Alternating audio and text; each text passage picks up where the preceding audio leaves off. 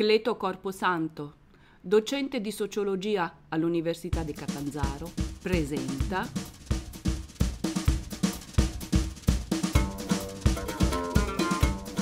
In viaggio, una vita da flaneur.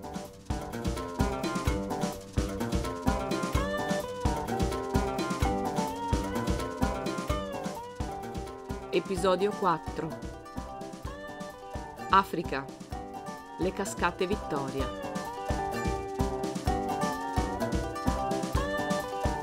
Il viaggio è innanzitutto un'occasione di pensiero, un atto di meditazione prima che dell'azione. Nel pensiero del viaggio confluiscono dati conoscitivi, motivazionali, razionali ed emotivi, così che il viaggio è una vera e propria prova a cui ci sottoponiamo per molteplici differenti ragioni. Questo quello a cui pensavo quando con un pizzico di amarezza mi accingevo a lasciare con un volo il Sudafrica, un paese bellissimo, undici lingue ufficiali corrispondenti alle varie etnie che lo popolano, tutte riportate nelle targhe dei palazzi governativi, lo Zulu, lo Xhosa, l'Afrikaans le più diffuse, oltre all'inglese naturalmente, la lingua franca. Un paese che mi ha regalato anche la possibilità di visitare una delle sue enclavi, il regno dell'Esoto, sospeso fra terra e cielo. Ma la partenza è uno di quei momenti magici in cui ci si ritrova a riflettere su quello che si sta facendo, ci si rende conto che esistono mille alternative, fra le quali se ne sta scegliendo una in particolare, imboccando quella strada, salendo su quella nave o prendendo proprio quell'aereo. E la mia scelta era fatta.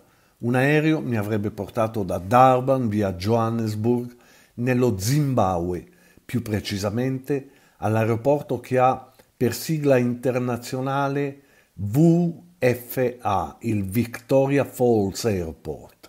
E allora via, si parte per lo Zimbabwe.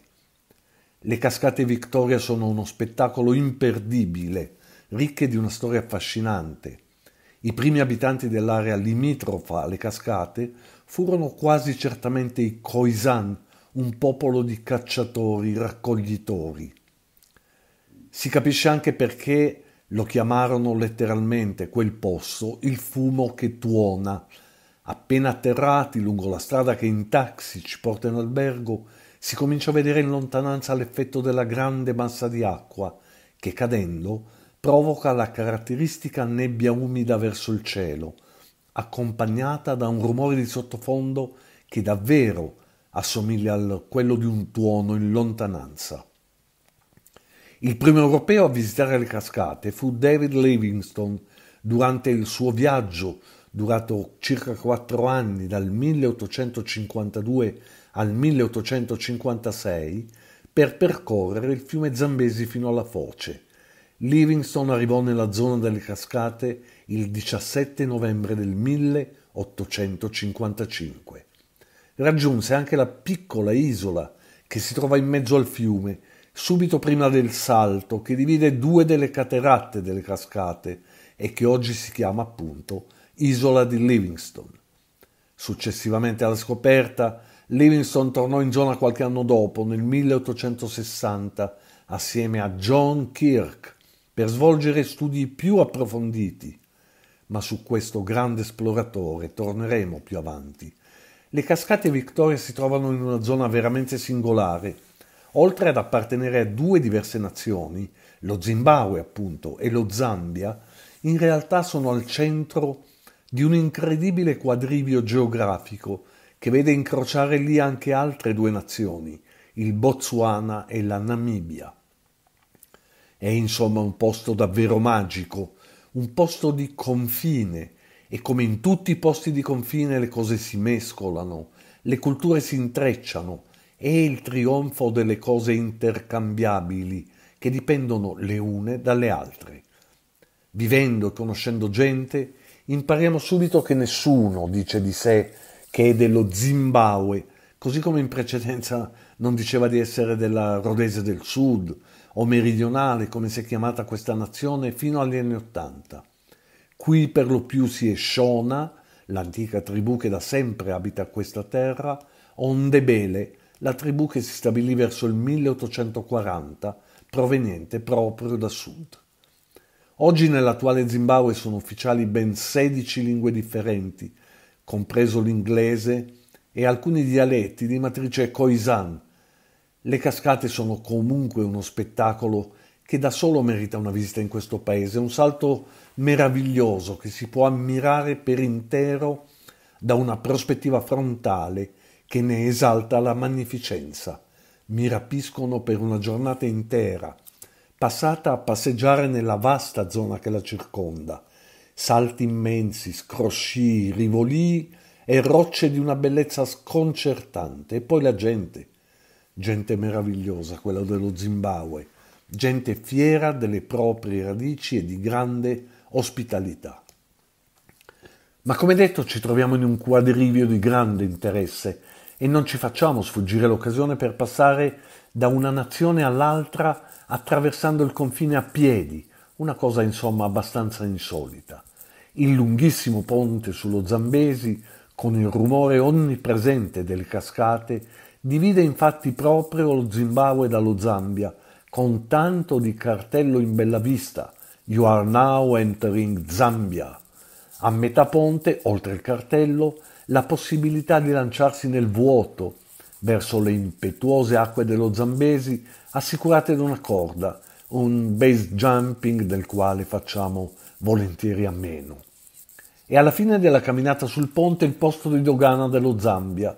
Le dogane africane meriterebbero una storia a sé. Il tempo magicamente si ferma, scorre in un'altra dimensione. Le cose da fare sono tante e a volte sembrano difficili. Le parole sono un po' così, ma poi tutto si sistema. Siamo nello Zambia, finalmente, e ci siamo arrivati a piedi. Un taxi e si va nella prima città, poco distante dal confine. Come si chiama? Indovinate un po', si chiama Livingstone. E una volta, dello Zambia, era anche la capitale.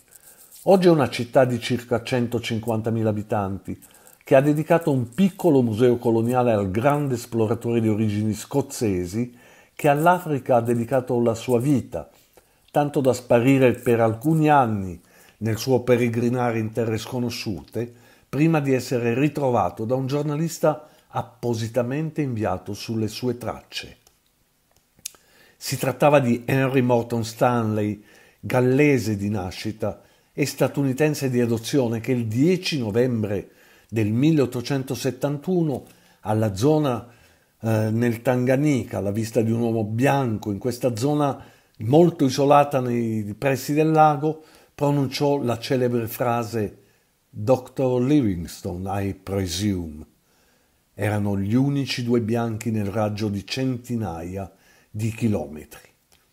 Il rientro nello Zimbabwe da Livingstone, Zambia, avviene sempre ripercorrendo il ponte sul fiume Zambesi, ma dalla zona di Victoria Falls, come detto, si può sconfinare spesso e volentieri, e allora non perdiamo l'occasione di attraversare un'altra frontiera, questa volta quella con il Botswana, e anche qui alla dogana il tempo rallenta. La destinazione è il meraviglioso parco naturale di Chobe, una vastissima area piena di animali, una zona in particolare ricca di elefanti che qui la fanno da padrone. Ecco l'Africa vera, Ecco la terra rossa e polverosa sulla quale si incrociano un numero di animali elevatissimo, di tutte le taglie e di tutte le specie. Così come verde, verdissimo, appare questa lingua di terra che appartiene invece alla Namibia, che a ovest invece è prevalentemente desertica, ma che qui, in questa magica congiunzione alla quarta potenza, regala angoli di verde inenarrabili ci addentriamo in questa quarta nazione nel raggio di pochi chilometri per capire che i confini sono un fatto meramente amministrativo a volte. Qui, in quest'area attorno a quella meraviglia rappresentata dalle cascate Victoria, popoli di antiche tribù hanno raggiunto un equilibrio di convivenza che non può che farci riflettere e la loro serenità assieme allo spettacolo meraviglioso della natura certamente contribuisce a rafforzare quel mito del mal d'Africa che fa sì che una volta visitata l'Africa resti per sempre nel cuore dei viaggiatori. Questo è un podcast indipendente, prodotto in collaborazione con una ristrettissima cerchia di amici.